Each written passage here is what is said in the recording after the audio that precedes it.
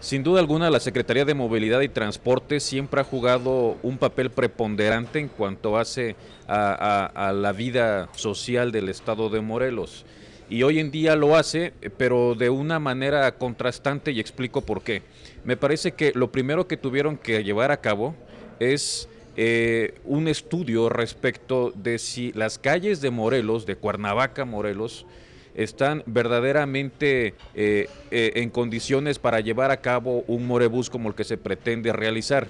Segundo, si tomaron en cuenta a todas las decenas de miles de familias que se van a quedar sin, sin, empleo porque trabajaban en el transporte público. Si esto no ocurrió, evidentemente es un proyecto que va a fracasar o por lo menos se va a polarizar porque en efecto miles de familias no van a quedar conforme a esta situación. Entonces yo creo que primero el legislador tiene que socializar la norma y a partir de ahí tendría que implementarla y no al revés como, como usualmente ocurre.